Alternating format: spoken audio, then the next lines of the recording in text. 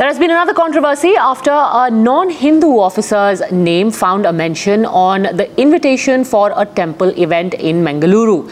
Fringe group members subsequently objected to the officer's name being present on the invite, even as the state government tried to downplay the row. Times Now, in fact, has accessed this invitation from December 2015, which mentioned the officer's name, but there was no controversy around it at the time.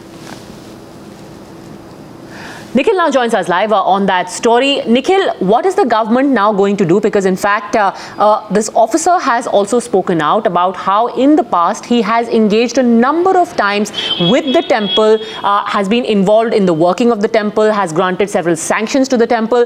Why this sudden controversy then? Uh, well, the, at this point of time, uh, the government would clearly say that the BJP is instigating and sustaining this unrest in the Puttur region uh, only for political mileage. But if you really look at it, uh, it almost seems like that too because uh, A.B. Ibrahim, the IAS officer, his name has been mentioned. This is the printout of an invitation uh, of an event that happened in December 2015, not too long ago, just about three months back. this was a Champa Shashti festival at the Kukke Shri Subramanya temple, which is a very well-known and a very widely followed uh, temple in terms of uh, devotee base in the state of Karnataka. And if that temple did not evoke any kind of a criticism or any kind of a controversy, one fails to understand why now. In fact, it's just not the recent past. I have with me another copy of an invitation that shows that an event in 2014, about two years back that is, uh, in the month of December again, uh, Ibrahim's name found a mention and this was again in the Kukke Subramanya temple and even then there was no criticism.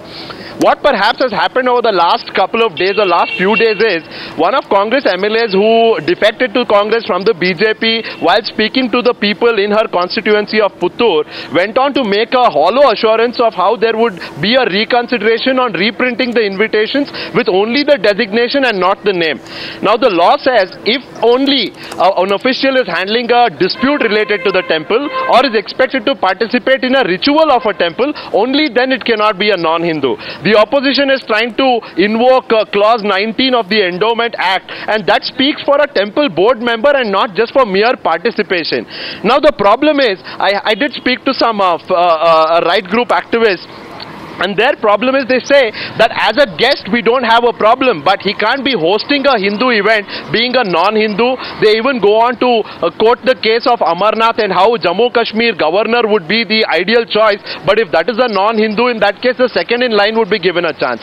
So they are drawing this analogy, but somehow uh, the, the larger people, the larger section of the people is not buying into it.